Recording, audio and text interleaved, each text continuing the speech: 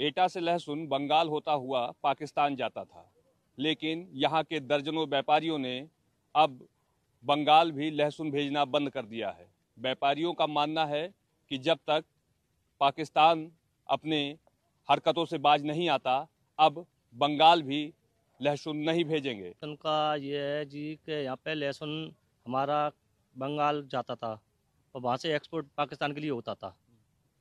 तो वो हमने लहसुन अपना यहाँ से भेज भेजना बंद कर दिया है। जब से हमारे ये साथी बयालीस लोग मारे गए हैं हमारे उसके बारे में।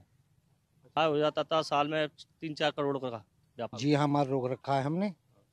और पाकिस्तान के विरोध में। अच्छा क्या वहाँ से एक्सपोर्ट करते थे? जी हाँ वो एक्सपोर्ट करते थे बंगाल से। हम बिल्कुल चाहते ही नहीं है जी। हम चाहते ही नहीं है। उनसे लेन देन इतना आक्रोश क्यों है व्यापारियों ये हमारे बयालीस मारे गए हैं आदमी।